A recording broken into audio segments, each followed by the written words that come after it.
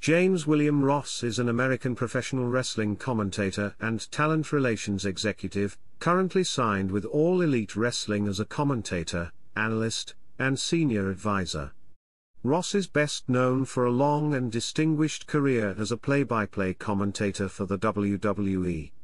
He is known affectionately as Good Old Junior and has been labeled as the greatest wrestling commentator of all time. After years of working various jobs in the professional wrestling industry, Ross became the primary play-by-play announcer for Mid-South Wrestling in the early 1980s.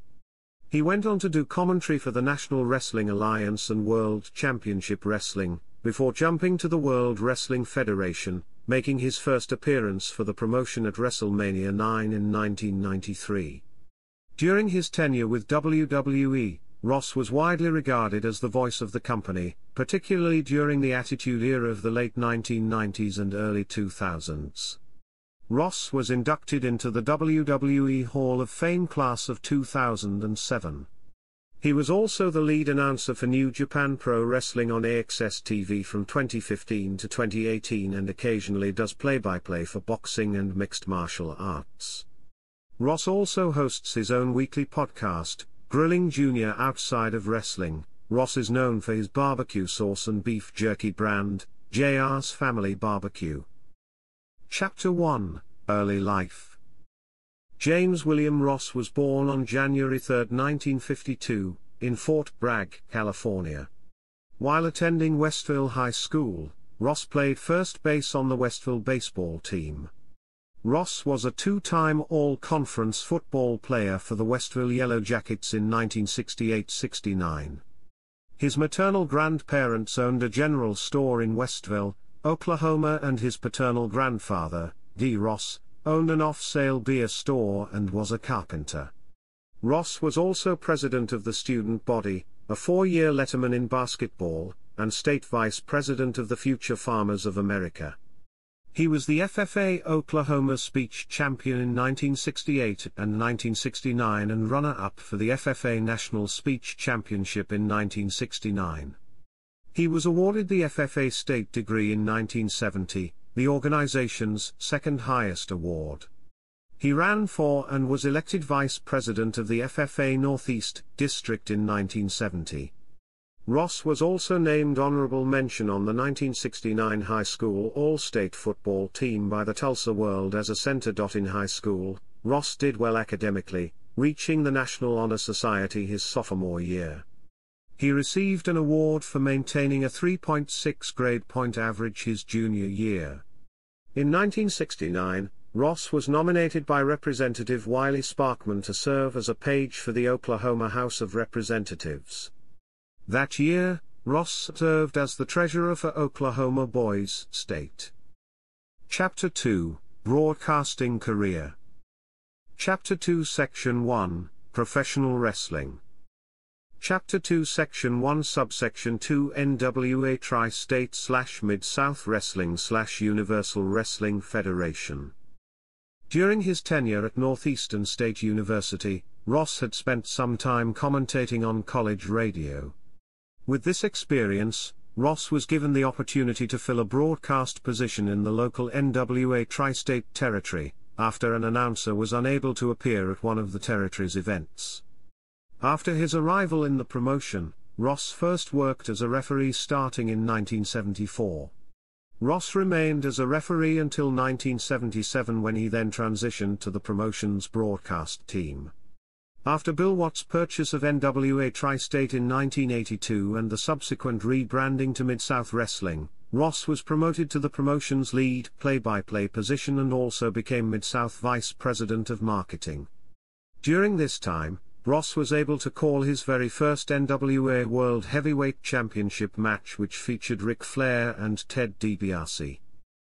Chapter 2 Section 1 Subsection 3 Jim Crockett Promotions, slash, World Championship Wrestling When Jim Crockett Jr. bought the Universal Wrestling Federation and merged it with his Jim Crockett Promotions Group, Ross joined JCP and began doing color commentary alongside David Crockett and Tony Schiavone. With his new position, Ross became the head play-by-play -play man for the National Wrestling Alliance. Ross continued to hone his skills as JCP became World Championship Wrestling, following the purchase of the regional promotion by Ted Turner. In 1991, WCW left the NWA and Ross was teamed with former NWA broadcaster Bob Caudle. In 1992, he also spent one season as a commentator on the Atlanta Falcons radio broadcasts. Ross worked his way up the WCW ladder to become head of broadcasting, but had a contentious relationship with WCW's newest commentator and future executive Eric Bischoff. According to Ross, Bischoff, who reported to him, did a really good job of selling himself to executives of WCW's owner Turner Broadcasting. According to Bischoff, Ross mistreated him and others, and when Bischoff was promoted to executive producer in 1993, Ross demanded and received his release. Ross had a three year contract with Turner Broadcasting, but he took an immediate buyout for fear that he would not get work elsewhere due to being taken off television for a long period of time. Mick Foley claims that Ross resigned from WCW's booking committee. Ross left WCW after being taken off the air by Bischoff. Chapter 2 Section 1 Subsection 4 World Wrestling Federation slash Entertainment slash WWE Ross was hired by the World Wrestling Federation and made his on-screen debut at WrestleMania 9 at a specially constructed outdoor venue at Caesars Palace on the Las Vegas Strip. He took over for Gorilla Monsoon on WWE Wrestling Challenge the following weekend. Ross worked alongside Bobby Heenan on the show until Heenan left the WWE in December 1993. Ross was originally the main voice of the WWE's pay-per-view events when he was first brought in, calling both WrestleMania 9 and the King of the Ring with Heenan and Randy Savage in 1993. Vince McMahon took over his position at pay-per-views starting with SummerSlam 1993. Ross suggested the idea of Radio WWF to McMahon, the idea was given a try and Ross was made host alongside Monsoon. In this role, Ross was joined by co-hosts such as Johnny Polo, and talked to various WWF wrestlers and fans. Ross and Monsoon called SummerSlam and Survivor Series at the end of 1993 and the Royal Rumble for Radio WWF. Ross was fired on February 11, 1994, two weeks after suffering his first attack of Bell's palsy on January 30, 1994, as stated by Ross on the September 23, 1996 episode of Raw. He subsequently became an announcer for Smoky Mountain Wrestling, and the NFL's Atlanta Falcons. In Smoky Mountain Wrestling, Ross was reunited with former NWA slash WCW announcer Bob Caudle. The promotion was owned by longtime NWA manager Jim Cornette and featured many former NWA slash WCW wrestlers such as the Rock and Roll Express, Eddie Gilbert, and Dr. Death Steve Williams. When Vince McMahon was indicted by the United States federal government in 1994, he was unable to continue commentating on WWF Monday Night Raw. After a few weeks of Gorilla Monsoon on play-by-play, the WWF rehired Ross to fill in for McMahon alongside Randy Savage throughout that summer. After McMahon was acquitted Ross was let go by the WWF for leaking inside information to journalists. Ross briefly returned to Smoky Mountain Wrestling. The WWF rehired him once again in December 1994. Relegated to the syndicated WWF programming for the majority of the next two years, Ross rejoined the primary announce team in the summer of 1996. In September 1996, Ross turned heel in WWF storylines for the first time in his career. Following Scott Hall and Kevin Nash's departure from the WWF for World Championship Wrestling, and their debut there as the Outsiders, Ross began to proclaim on television that he was still in touch with Razor Ramon and Diesel and claimed that he would be bringing them back to the WWF soon.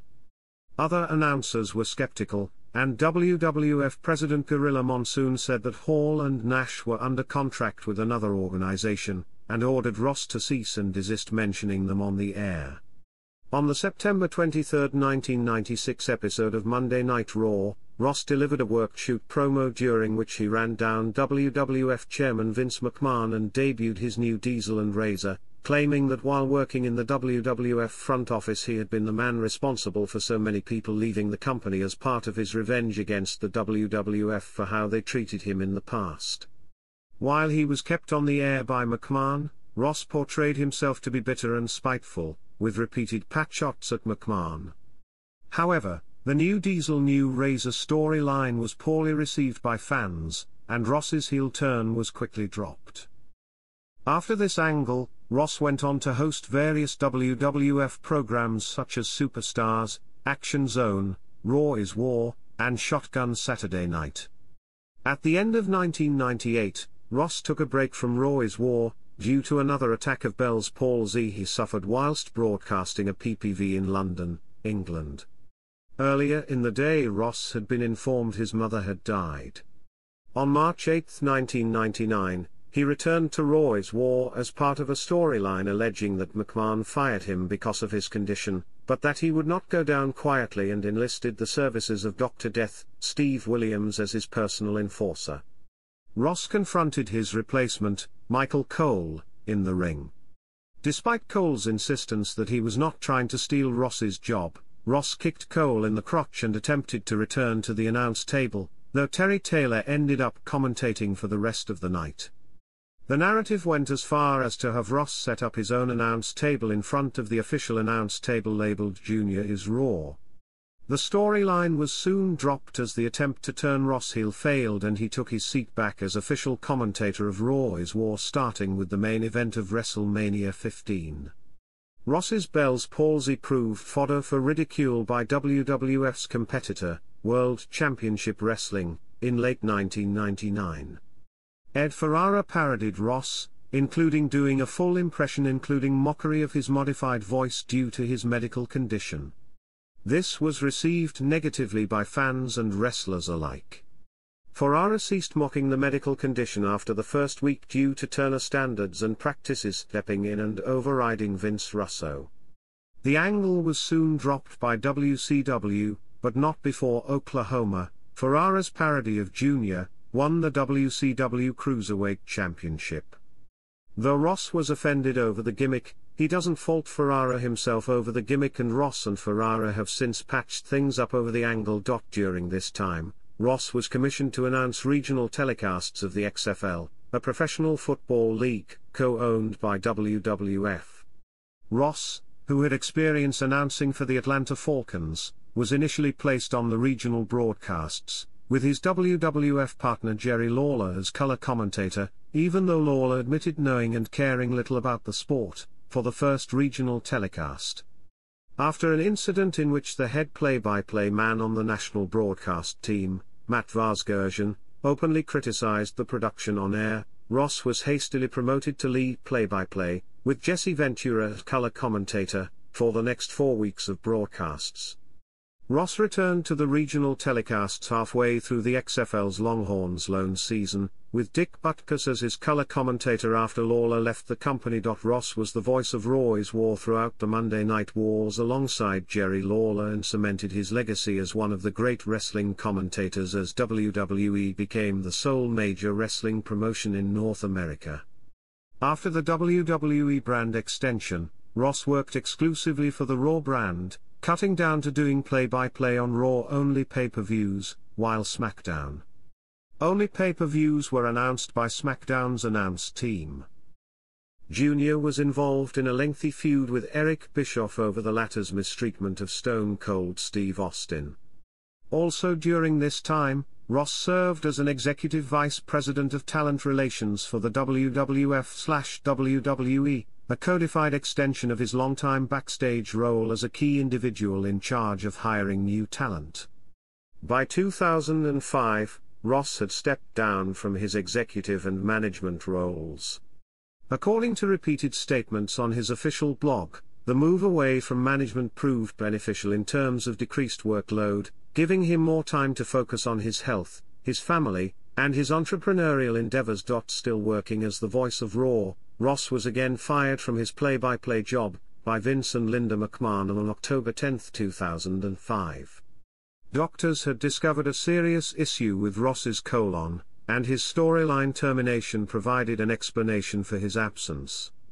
While recovering from his colon surgery, Joey Styles called the weekly Raw. After recovering, Ross helped produce the Raw announcers from backstage, and was brought back for Saturday night's main event 32 in 2006, then the Raw brand matches of WrestleMania 22 and Backlash before taking back his play-by-play job on Raw on May 8, 2006, after Styles quit Raw in the storyline, declaring his hatred for sports entertainment. Ross's contract with WWE expired in October 2006. At that point, neither side had signed a new contract and instead worked week to week under the terms of the expired contract. In November 2006, Ross stated on his official blog that he had signed a new one-year contract with WWE and would continue to work year to year. On March 31, 2007, Ross was inducted into the WWE Hall of Fame class of 2007 by Steve Austin. On June 23, 2008 during the 2008 WWE Draft, Ross was drafted from Raw to the SmackDown brand while Michael Cole was drafted from SmackDown to Raw, trading positions as commentators on each brand. This ended Ross's position as Monday Night Raw's play-by-play commentator after a nearly 12-year run. The following day Ross posted a blog on his official website saying initially, he was not happy with the move and considered quitting the company since he was not told beforehand about the move, but that he would work to make SmackDown the best program the WWE produces. On September 23, 2008 episode of ECW on Sapphire, Ross made an appearance on the ECW brand filling in for a sick Todd Grisham alongside Matt Striker. On April 8, 2009, Ross announced on his WWE Universe blog that with the departure of Taz from World Wrestling Entertainment, he would assume the role of SmackDown's color analyst, with ECW announcer Todd Grisham moving over to the brand as the play-by-play announcer. October 6, 2009 was his last broadcast as a full-time announcer for WWE. Ross missed the SmackDown tapings on October 13, 2009, as he asked for a day off due to an anniversary. Seven days later, on October 20, Ross suffered his third Bell's palsy episode en route to Columbia, South Carolina for a SmackDown taping. After initially planning on working the tapings and reuniting with Lawler, Ross instead flew back to Oklahoma, missing the show, Lawler and Cole commentated SmackDown, and leaving his plans for bragging rights in the air. On October 21, 2009, Jim Ross announced that he would not be commentating the WWE Bragging Rights pay-per-view, but Grisham mentioned that SmackDown would give Ross the bragging rights trophy as a get-well gift. On the November 15, 2010 Old School Raw special, Ross made a guest appearance on commentary with Jerry Lawler and Michael Cole, calling a match between Daniel Bryan and Jack Swagger. Cole insulted Ross throughout the match, which resulted in Ross hitting Cole over the head with his hat after the match had finished. Ross returned on March 14, 2011 to confront Cole, who had entered into a feud with Lawler. After being insulted by Cole, he challenged him to a match but was attacked by Swagger. Ross called the final four matches at WrestleMania 27, including the Cole vs. Lawler match.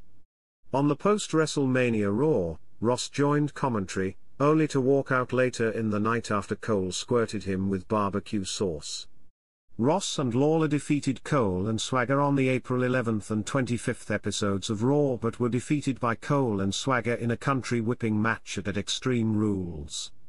As Lawler's feud with Cole ended at Over the Limit, Ross showed up to gain revenge on Cole by squirting him with barbecue sauce. On July 25, 2011, the new COO of WWE, Triple H rehired Ross to a full-time commentating position on Raw. The new Raw interim general manager, John Laurinaitis, fired Ross on October 10 for walking out on Triple H a week earlier. Ross later revealed that he was given no prior notice that he was to be publicly fired. Ross returned on October 17, joining John Cena to defeat Michael Cole and Alberto Del Rio in a tag match.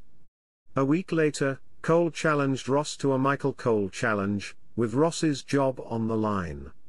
The challenge took place on November 14.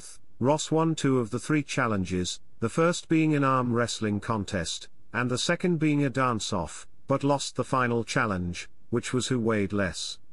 Even though he lost the contest, he called the opening match of the night after Michael Cole was attacked by CM Punk. At WrestleMania 28, he returned to call the end of an era Hell in a Cell match between Triple H and The Undertaker.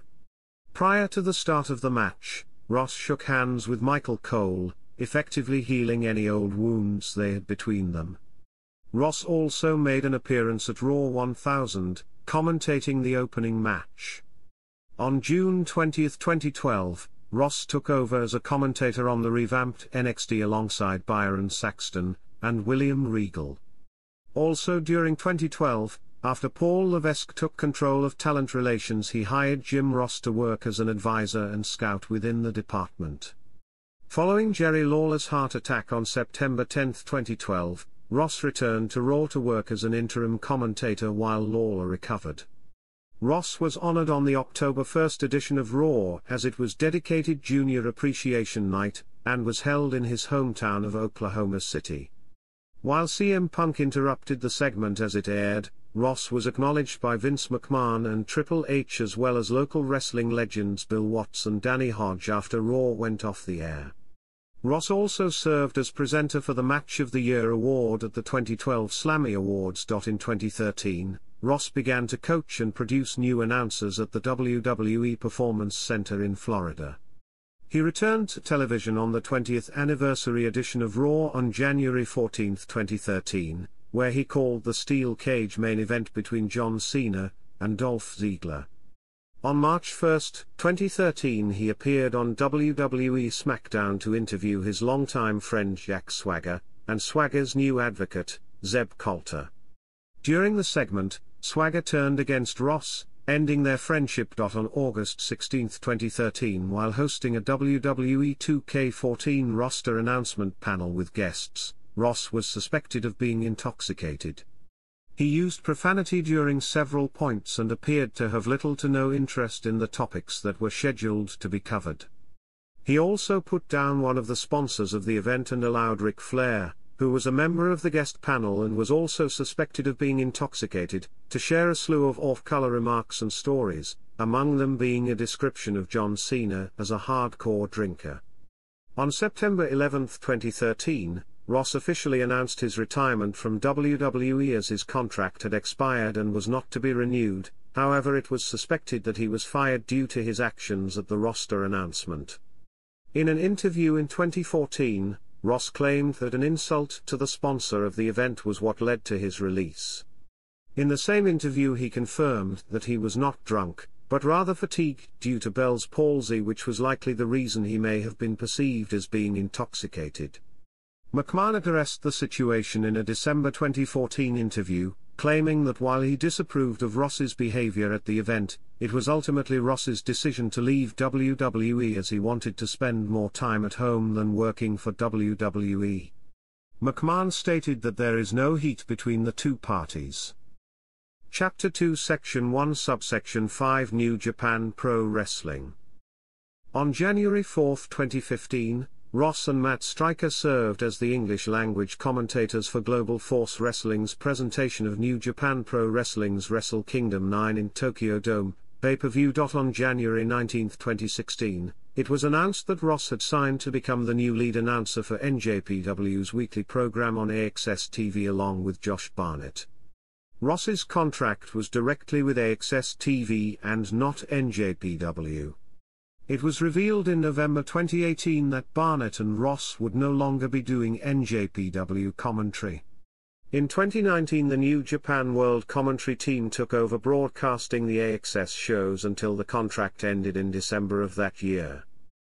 Chapter 2 Section 1 Subsection 6 Independent Circuit On October 8, 2016, Ross, along with Jim Cornette, provided commentary for What Culture Pro Wrestling's first IP refused to lose. On December 31, Ross was on commentary for the pilot episode of World of Sport Wrestling on ITV.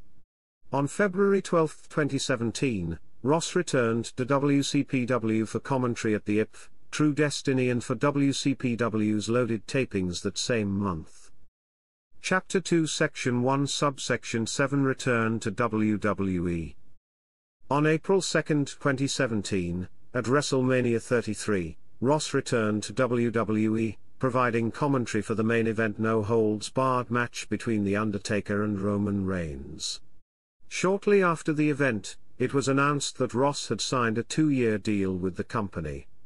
During the summer, Ross would provide commentary, alongside Lita, for the Mae Young Classic. On the January 22, 2018, episode of Raw 25 Years, Ross would reunite with Jerry Lawler as part of the commentary team that was at the Manhattan Center in which Ross was caught by several cameras sleeping.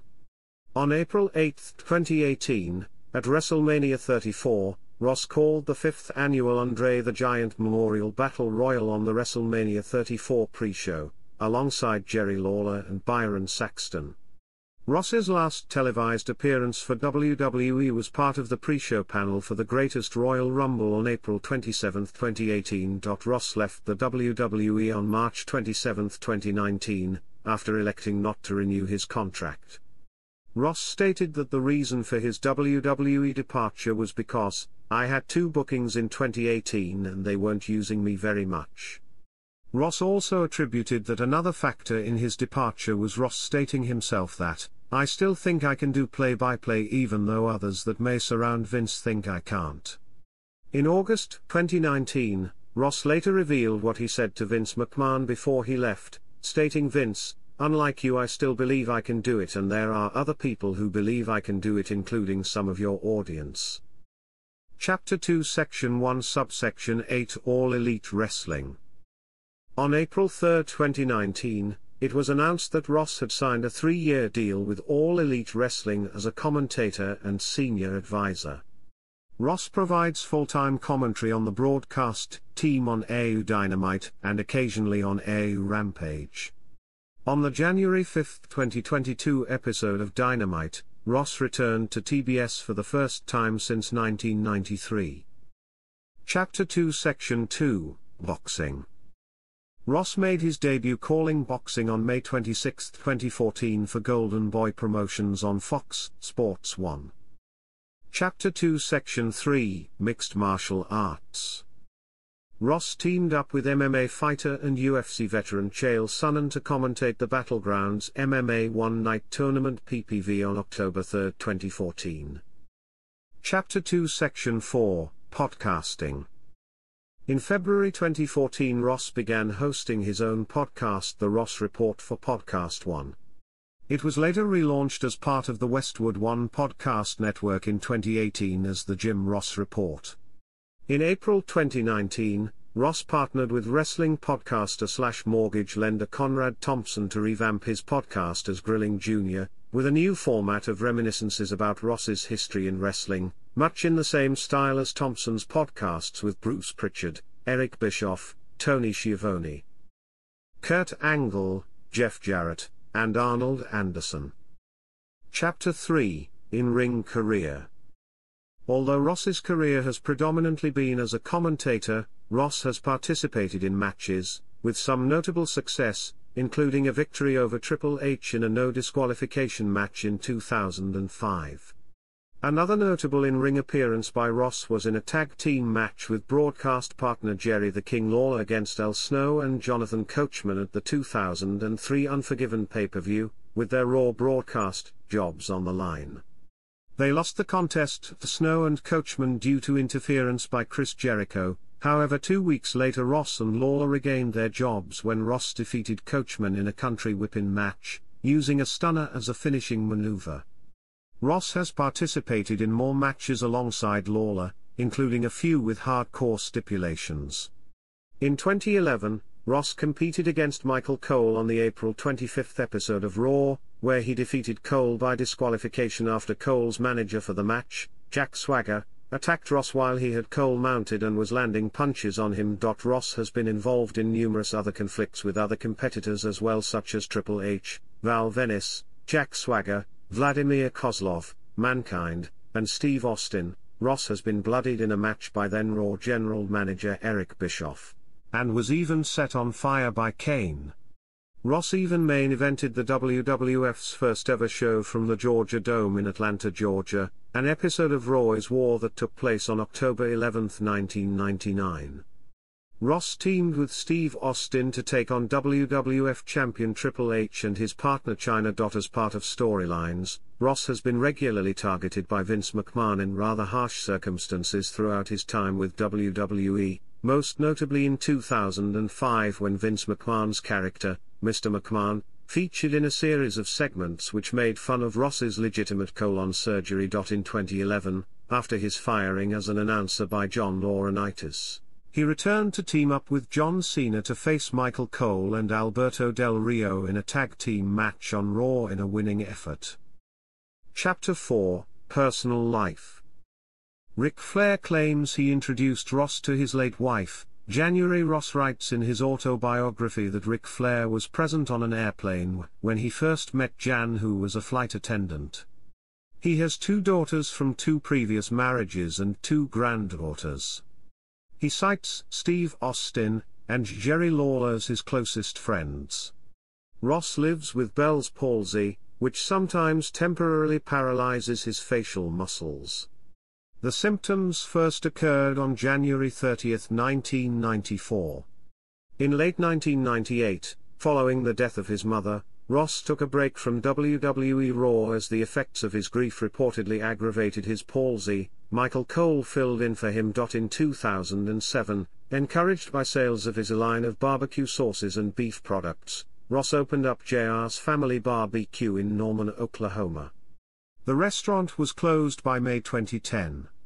Ross is also a fan of Skyline Chili and has mentioned them in connection to Cincinnati numerous times on AEW programming. Ross is an avid Oklahoma Sooners fan and a regular football season ticket holder. This is reflected in his entrance music, which is Boomer Sooner. He can be spotted at every Sooners home game, and when the Sooners play top teams around the country. In 2014, he became Fox Sports.com's contributor for NCAA football and Oklahoma Sooners. On the February 23, 2021 episode of his YouTube series Grilling JR, Ross stated that The Sopranos is his favorite TV show and that he still would occasionally watch it. On March 21, 2017, Ross's wife Jan was involved in a vehicle accident, suffering serious head injuries. She was put on life support, where she died two days later. Ross had an eye operation in 2018 that greatly affected his eyesight in one eye. On October 23, 2021, Ross tweeted that he has skin cancer as he was on his way to AEW Dynamite. On December 29, 2021, Ross tweeted that he was cancer free. Chapter 5 In Other Media In the film Man on the Moon, Ross played Lance Russell announcing the match between Andy Kaufman and Jerry the King Lawler. Ross also has a recurring role on the Amazon Prime Video original Paradise City as Ned. Ross was one of the original lead announcers of the original XFL in spring 2001. Ross has also provided his voice for many WWE video games, and is also a playable character in WWE 12, WWF WrestleMania 2000, WWF No Mercy and many more. In October 2014, he appeared in Brian and the Boz, a 30 for 30 documentary on fellow Oklahoman Brian Bosworth. Three years later, he appeared in another 30 for 30 documentary, this time about Ric Flair. Ross has written two WWF slash WWE themed cookbooks Can You Take the Heat? The WWF is Cooking and JR's cookbook released in 2000 and 2003 respectively. His autobiography Slobberknocker was released on October 3, 2017. The foreword for the new autobiography was written by Vince McMahon.